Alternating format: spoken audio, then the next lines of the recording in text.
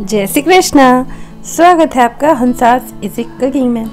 दिवाली की साफ़ सफ़ाई तो हो गई। अब दिवाली की तैयारियाँ चालू करते हैं। नहीं, ज़्यादा दिन बचे नहीं हैं। आज मैं आपके लिए दिवाली की एक रेसिपी लेके आई हूँ। पर बनेगी बिल्कुल दो से तीन छोटी चम्मच तेल में और बहुत ही आसानी से। कम तेल में बनी तो इसका मतलब ये नहीं है कि कम टेस्टी है, बहुत ही ज़्यादा टेस्टी लगती है। जो हेल्थ कॉन्शियस या वेट लूज़ कर उनके लिए तो अच्छी है ही बाकी सबको भी बहुत पसंद आएगी। तो इसके लिए मैंने पतले वाले जो पोहे आते हैं ना, बिल्कुल पतले वाले वो ले लेने हैं। जो हम नॉर्मल पोहे खाते ना, वो नहीं, जो एकदम थिन वाले पोहे आते हैं ना, वो लेना। तो इनको हम तीन से चार कप ले लेंगे तो सबसे पहले इसको इस तरह से ना छलनी में छान लेना, ताकि इसमें जो पाउडर नीचे होगा ना, चूरा, वो निकल जाएगा। तो इसको अच्छे से हम छान लेंगे। और इन पोहों को आप चाहो तो धूप में ना एक दिन के लिए सुखा सकते हो। तो ये मिक्सचर आपके और जल्दी बनेंगे। पर अगर धूप नहीं है या आपको ज़्यादा जल्दी है तो इस तरह से कढ़ाई में ले लेना इनको छान के। तो सारे पोहे इस तरह से हमें छान लेने हैं। तो इससे क्या होगा, जो भी कचरा होगा या नीचे पाउडर होगा ना, इसका चूरा, वो निकल जाएगा। तो इसको हमें कढ़ाई में डाल लेंगे। लगभग चार से पाँच कप के करीब पोहे लिए हैं मैंने। तो अब जब भी बनाया ना मिक्सचर तो बड़ी सी कढ़ाई में, ताकि इसको मिक्स करने में आसानी हो। जिसको मीडियम फ्लेम पर ही हम इस तरह से चलाते हुए तीन से चार मिनट के लिए भून लेंगे। तो इससे जल्दी क्रिस्पी हो जाएँगे।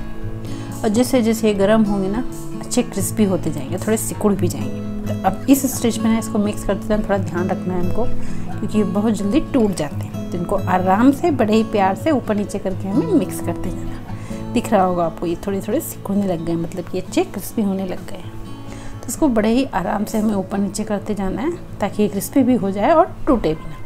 और इस तरह से पोहे तोड़ के देख लेना, अगर इजीली टूट रहा है मतलब कि अच्छे से क्रिस्पी हो चुका है। तो इसे हम एक बड़ी सी परात में निकाल लेते हैं। इसको थोड़ा सा फैला लेंगे ताकि ये खुद के ही मॉइस्चर में सॉफ्ट ना हो जाए। अब यहाँ कढ़ाई में फिर से हम दो से तीन छोटी चम्मच तेल ले लेंगे। तो बस इतना ही तेल काफ़ी है इसके लिए। इसमें हम ले लेंगे आधी कटोरी या वन फोर्थ कप के बराबर मूँगफली के दाने। तो इन्हें थोड़ा सा भून लेंगे।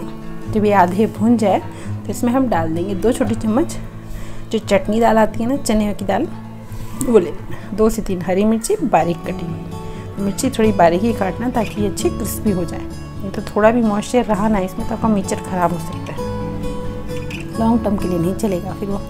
अब इसमें हम ले लेंगे आठ दस काजू और पंद्रह बीस किशमिश। तो ये हम इसमें डाल देंगे। इनको अच्छे से भून लेना तो इसको लगातार चलाते रहना ताकि ये जले ना अच्छे से इक्वली भून जाए। ये भून चुके अब इसमें हम डाल देंगे पंद्रह बीस करी पत्ते। यानी कि मीठी नीम के पत्ते और एकदम ताज़े लेना तो और अच्छी खुशबू आएगी। जो मैंने लिए, ये मेरे किचन गार्डन के ही हैं। तो इन्हें धो के अच्छे से पोष लेना, फिर डालना। तो ये जल्दी क्रिस्पी हो जाएँगे। अब इसको हम लगातार चलाते रहेंगे, जिससे कि करी पत्ते जो है ना, अच्छे से क्रिस्पी हो जाए। इसमें जो भी चीज़ डालें अच्छी क्रिस्पी होनी चाहिए। अब थोड़े से हम निकालेंगे अलग से, ताकि ऊपर से गार्निशिंग के लिए डाल सकें। क्योंकि जब ये चीज़ अच्छी दिखेगी, तभी तो आप इसे बनाओगे। तो इसमें एक छोटी चम्मच जीरा और एक छोटी चम्मच सौंफ, थोड़ा सा दरदरा कूट लिया था मैंने। उसको भी डाल देंगे और हल्का सा भून लेना और यहाँ आधी छोटी चम्मच डाल देंगे हींग।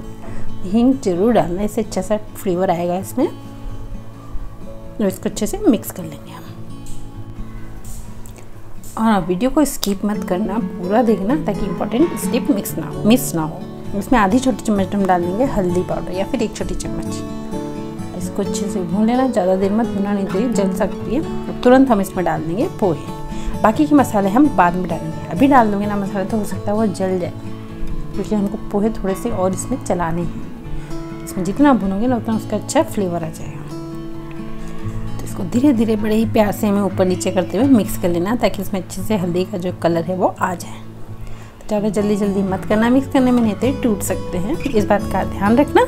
तो लीजिए, इसमें अच्छे से कलर आ गया है। दिख रहा है ना बिल्कुल कलरफुल से? तो ये पोहे हमारे हो चुके हैं रेडी अब गैस को हम कर देंगे बंद। और इसको अच्छे से दो चार बार और मिक्स कर लेना। फिर कढ़ाई भी गर्म है। अब इसमें दो, तीन छोटी चम्मच डाल देंगे। पिसी हुई शक्कर स्वादानुसार नमक और इसमें आधी छोटी चम्मच डाल देंगे काला नमक।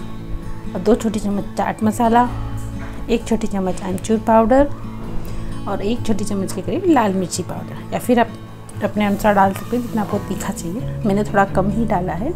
अब इसको अच्छे से कर लेना है मिक्स अभी मिक्सचर आपके रेडी है ऑलमोस्ट तो इसमें हम एक चीज़ और डालेंगे, जिससे बनेंगे सुपर टेस्टी अब बिना ऑयल यूज़ किए डालेंगे हम उसे। तो ये इसका सीक्रेट इंग्रेडिएंट है। वीडियो को स्किप मत करना। और अगर पसंद आए तो लाइक और शेयर करना मत भूलिएगा। प्लीज़ प्लीज़ ज़रूर से सब्सक्राइब कर लेना अगर आप चैनल पर नए हैं। तो इसलिए मेरे पास में कॉर्नफ्लेक्स रखे थे। पचास ग्राम के करीब, यानी कि डेढ़ कप। तो ये हम निकाल लेंगे। तो ये आप कप से नापोगे तो एक से डेढ़ कप है। इसी में हम आधी छोटी चम्मच चाट मसाला, आधी छोटी चम्मच अमचूर पाउडर, थोड़ा सा नमक, काला नमक डाला है मैंने। और इन सबको डाल के अच्छे से कर लेंगे मिक्स और इसमें डालेंगे आधी छोटी चम्मच लाल मिर्च पाउडर। अब इस कॉर्नफ्लेक्स को हम डाल देंगे अपने पोहे में। तो है ना इजी से इंग्रेडिएंट्स बिना ऑयल की यूज़ किए हुए। तो इससे आपके जो मिक्सचर है ना सुपर टेस्टी बनेंगे। अगर आपको कॉर्न वाले पोहे आते हैं मार्केट में, वो मिल जाए तो आप वो ऑयल में फ्राई करके भी डाल सकते हो। पर हाँ अगर ऑयल नहीं खाना है तो आप ये यूज़ कर सकते हो। सबसे बेस्ट ऑप्शन है अब इन्हें ठंडा होने के बाद आप एयर टाइट डब्बे में बंद करके महीने भर तक आराम से खा सकते हैं। तो अभी से दिवाली की तैयारी चालू कर दीजिए। ये मिक्सचर आपके ख़राब होंगे नहीं। हाँ पर थोड़े ज़्यादा ही बनाना नहीं तो बहुत जल्दी ख़त्म भी हो जाते हैं। तो छोटी छोटी भूखों या टी टाइम स्टेक्स में आप इसको आराम से बनाकर खा सकते हैं। और ख़ासकर कम ऑयल खाना है किसी को या फिर हेल्दी ऑप्शन चूज़ करना उसके लिए बहुत ही अच्छा ऑप्शन है ये। ऐसा नहीं है कि जो हेल्दी खा रहा है या कम ऑयल खाना है उसी के लिए अच्छा है ये जो खाएगा उसे भी पसंद आएगा ये। और हाँ पेट की भी बल्ले बल्ले हो जाएगी, क्योंकि इसको खाने के बाद हैवी नहीं लगेगा आपको। तो एक बार ट्राई ज़रूर करिएगा।